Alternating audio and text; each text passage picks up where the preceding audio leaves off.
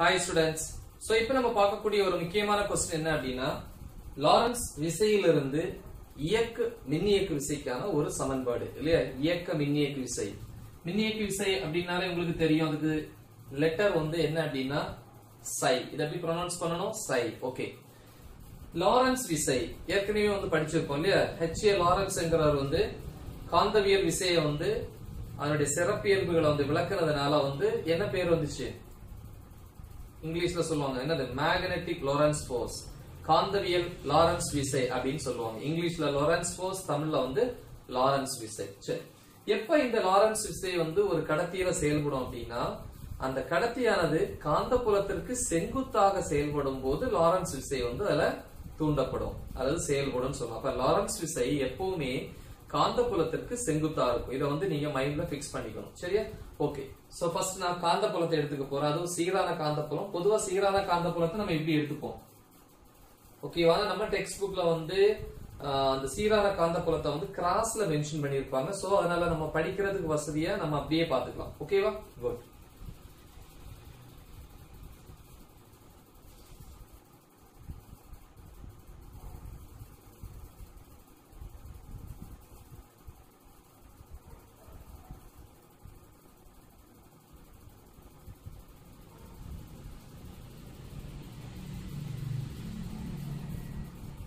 சரி.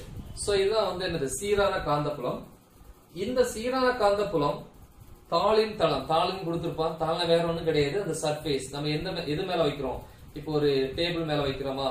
இல்ல S சர்ஃபேஸா so அதுதான் வந்து தாள்னு எடுத்துக்கோங்க. அதனுடைய தளம் வந்து இப்படி இருக்கும். இந்த தளத்தினுடைய திசை எப்படி இருக்கு? மேல் நோக்கி.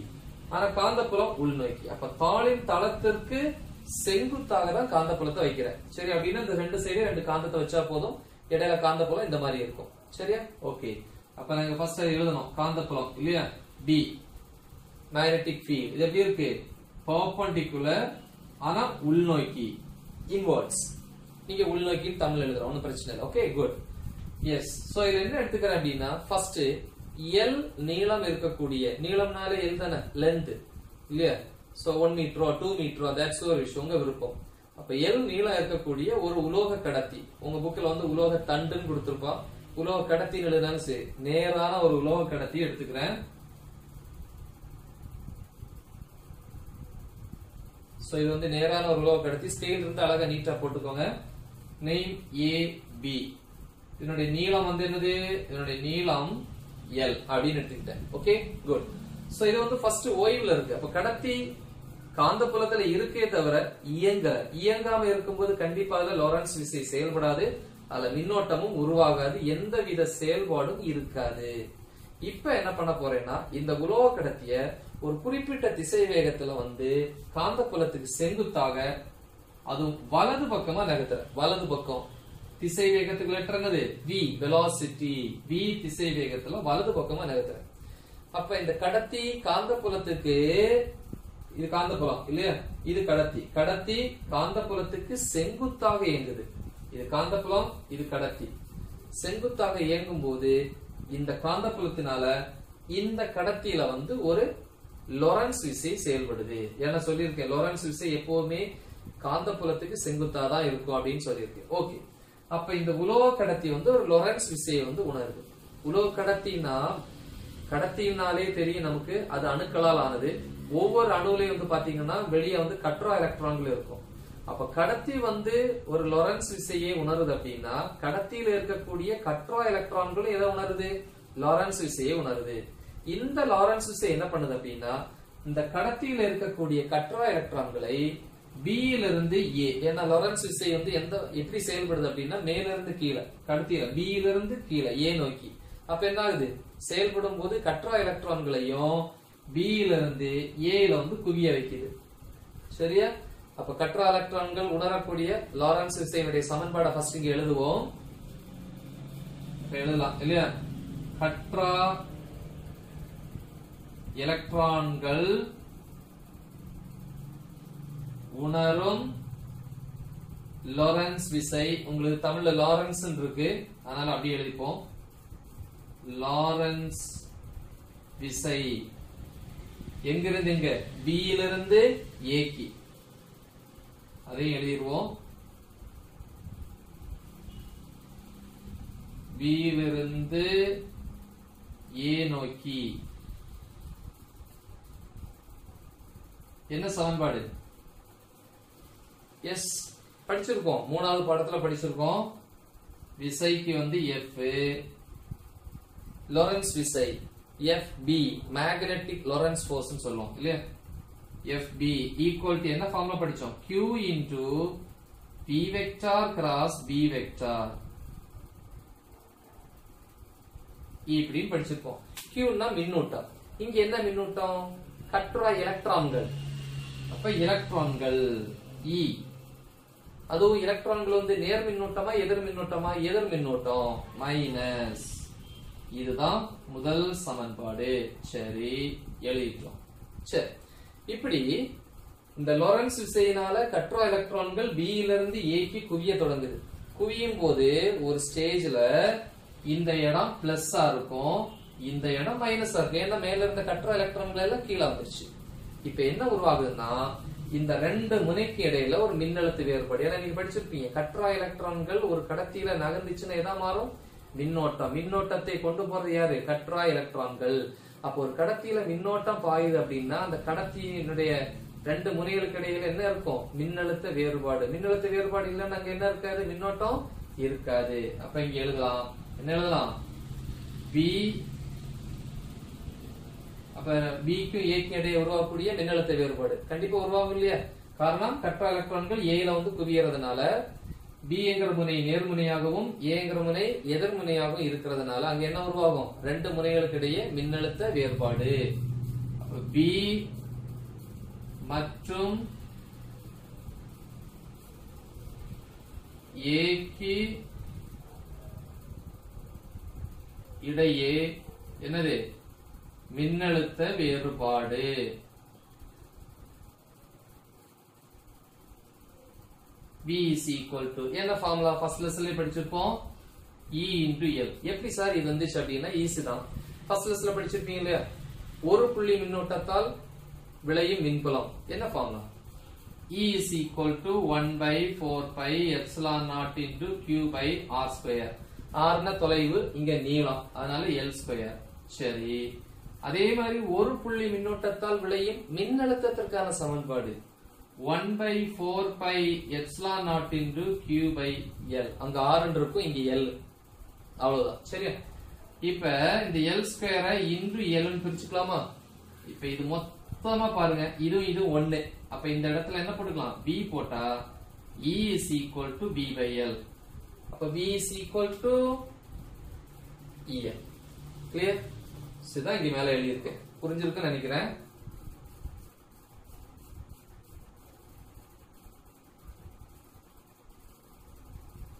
உங்களுக்கு இந்த சமன்பாடை வந்து அடுத்து மூணாவதா போட்டிருப்பாங்க.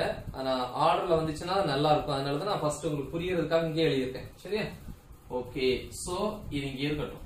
குட் சரி. இப்ப இந்த இடம் பிளஸ் இங்க மைனஸ் அப்ப இங்க இருக்கிறது நேர் மின்னோட்டம் இங்க இருக்கிற எதிர் மின்னோட்டம். அப்ப இந்த ரெண்டு கடையில என்ன உருவாகுது? மின் மின்புலம் உருவாகுது. படிச்சிருக்கீங்களா இல்லையா? ஒரு நேர் மின்னூட்டம் எதிர் மின்னூட்டம் தனித்தனியே இருந்துச்சு அப்படின்னா மின்புல கோடுகள் எங்க இருந்து எங்க ஆரம்பிக்கும்? நேர் மின்னூட்டத்தில் துவங்கி எதிர் மின்னூட்டத்தில் முடிவடையும். படிச்சிருப்பீங்க. அப்ப மின்புலத்தினுடைய திசை மேலிருந்து கீழே பிளஸ்ல இருந்து மைனஸ் அதுல உங்களுக்கு எதுவும் மாற்றம் இல்லை. சரி. அந்த நேரத்துல அதே நேரத்துல இங்க குவியக்கூடிய கற்றா எலக்ட்ரான்கள் மேல இன்னொரு விசை செயல்படுது. அதான் கூலும் விசை. இந்த கூலும் விசையினுடைய திசை லாரன்ஸ் விசையினுடைய திசைக்கு எதிர் திசையில. அப்ப லாரன்ஸ் விசை வந்து மேலிருந்து கீழே. இந்த கட்ரா எலக்ட்ரான் மேல செயல்படக்கூடிய கூலும் விசையினுடைய திசை ஏயிலிருந்து பி அப்ப இங்க எழுதலாம் இல்லையா? கட்டுரா எலக்ட்ரான்கள் மீது எங்கிருந்து எங்க? ஏயிலிருந்து பி நோக்கி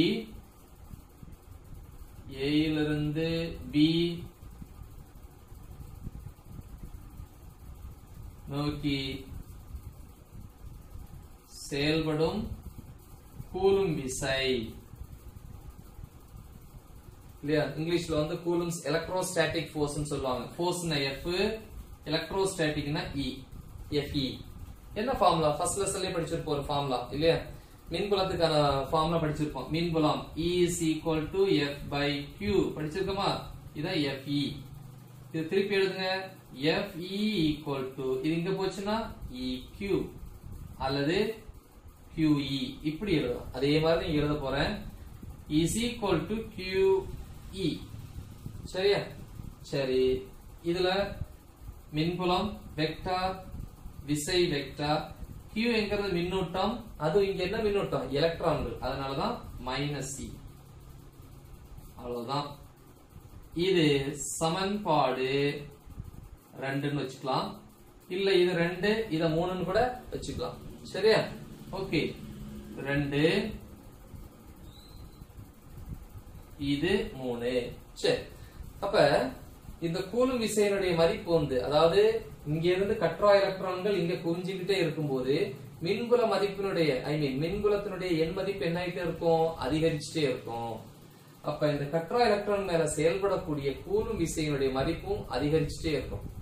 எப்ப வந்து மேலிருந்து கீழ் நோக்கி செயல்படக்கூடிய அந்த லொரன்ஸ் விசையினுடைய மதிப்புக்கு சமமா கூலும் விசையினுடைய மதிப்பு அதிகரிக்குதோ ரெண்டு சமமாகுதோ அதுக்கு மேற்கொண்டு கற்றா எலக்ட்ரான்கள் என்ன ஆகாது ஏங்கிற முனையில குவியாது. புரியுதா? எப்பெல்லாம் லொரன்ஸ் விசையும் அதாவது லாரன்ஸ் விசையும் கூலுமினுடைய விசையும் சமமாகும் போது அப்ப இங்க எழுதலாம் இல்லையா? அதாவது முதல் சமன்பாடு. ஒன்னாவது சமன்பாடும் மூணாவது சமன்பாடும் சமமாகும் போது. இல்லையா? எண் மதிப்பு. இது வெக்டார்ல இருக்கு எண் மதிப்பு. எண் மதிப்புக்கு என்ன போடுவீங்க?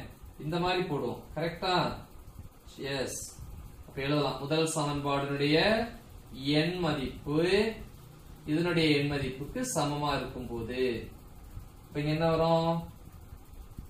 Minus E B vector cross B vector எழுதிக்கலாம் இல்லையா? B vector cross B vector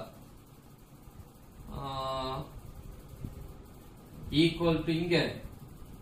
Minus E E vector formula படிச்சிருப்பீங்க. A vector cross B vector equal to formula என்ன? ஏபி சைன் தீட்டா அதே மாதிரி இங்க minus E A vector cross B vector AB sine theta B vector cross B vector BB sine theta equal to இங்க minus EE minus E minus E cancel தீட்டாங்கிறது வந்து விக்கு பிக்கு இடையுள்ள angle இல்லையா? திசை வேகமானது காந்த புலத்திற்கு செங்குத்தா இருக்கும். அப்ப தீட்ட மதிப்பு என்னது? தொண்ணூறு டிகிரி. அப்ப இங்க எழுதலாம். பிபி சைன் தொண்ணூறு degree equal to E sine தொண்ணூறு மதிப்பு என்ன? ஒன்னு ஏன்னா எப்ப வந்து பர்பண்டிகுலரா இருக்குதோ தொண்ணூறு டிகிரியில் இருக்குதோ அப்பதான் லாரன்ஸ் விசை செயல்படும். அப்ப இதனுடைய மதிப்பு ஒன்னு அப்ப விபி ஈக்குவல் டு இ அப்படின்னு கிடைக்கும். சோ இது சமன்பாடு நாலு. சரியா? ரெண்டாவது சமன்பாடுல பிரதியிட போறேன். ரெண்டில் பிரதியிட. இப்ப ரெண்டு என்னது? மின்னழுத்த வேறுபாடு. மின்னழுத்த வேறுபாடு. V is equal to E. E தான் இருக்கு இல்லையா? VB அந்த இடத்துல போடுவோம். VBL அதாவது V is equal to DLV இதுதான் மின்னழுத்த வேறுபாடு. இந்த மின்னழுத்த வேறுபாடு உருவாகிறதுக்கு காரணம் என்ன? கற்றா எலக்ட்ரான்கள் மேல செயல்பட்ட லொரன்ஸ் விசை. சோ அப்ப இந்த லொரன்ஸ் விசையால உருவாகக்கூடிய மின்னியக்கி விசை. ரெண்டு ஒண்ணு தானே மின்னழுத்த வேறுபாடு மின்னியக்கி விசை. ஏன்னா எப்ப இது ரெண்டும் சமமாகுதோ அப்ப என்ன ஆகுது? மேற்கொண்டு இங்க எலக்ட்ரான்கள் குவிக்கப்படாது. சரியா? அப்ப எழுதலாம். லொரன்ஸ் விசையால் அல்லது லாரன்ஸ் விசை இல்லையா? லாரன்ஸ் விசையால் உருவாகும் மின்னியக்கு விசை.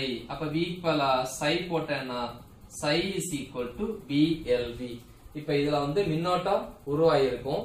இப்ப நான் என்ன பண்ண போறேன் அப்படின்னா கடத்தியினுடைய ஏ முனையையும் பி முனையும் இங்க எழுதணும். ஏ முனையையும் பி என்கிற முனையையும் வெளியே ஒரு மின்சுற்றுல வந்து கேபிட்டல் ஆர் மின்தடை மதிப்பு இருக்கக்கூடிய மின்தடை கூட இணைச்சேன் அப்படின்னா அந்த சுற்றுல வந்து இதுல உருவான தூண்டப்பட்ட மின்னோட்டம் பாயும். அப்ப தூண்டப்பட்ட மின்னோட்டம் ஓம் விதிப்படி ஃபார்ம்ல என்ன? ஐ இஸ் ஈக்குவல் டு படிச்சிருப்பீங்க? V equal to IR capital I வரும் அங்க. இங்க தூண்டப்பட்ட மின்னோட்டங்கிறதுனால ஸ்மால் ஐ அதே மாதிரி மின்னியக்கு விசை சை இப்படி ஃபார்ம்ல மாறிடும் இதுல I is equal to psi by R which is equal to BLV by R. இதுதான் தூண்டப்பட்ட மின்னோட்டத்திற்கான சமன்பாடு. ஓகேவா ஸோ அதே மாதிரி இந்த மின்னியக்கு விசையை வந்து எப்படி சொல்லுவாங்க? இயக்க மின்னியக்கு விசைன்னு சொல்லுவாங்க. ஏன்னா கடத்தியினுடைய இயக்கத்தினால இந்த மின்னியக்கு விசை உருவானதுனால இந்த மின்னியக்கு விசைக்கு பேரு இயக்க மின்னியக்கு விசை அப்படின்னும் சொல்லுவாங்க. முக்கியமான ஒரு ஃபைவ் மார்க் கொஸ்டின் நல்லா பிராக்டிஸ் பண்ணுங்க. உங்க ஃப்ரெண்ட்ஸ்க்கு இதை ஷேர் பண்ணுங்க. All the best thank you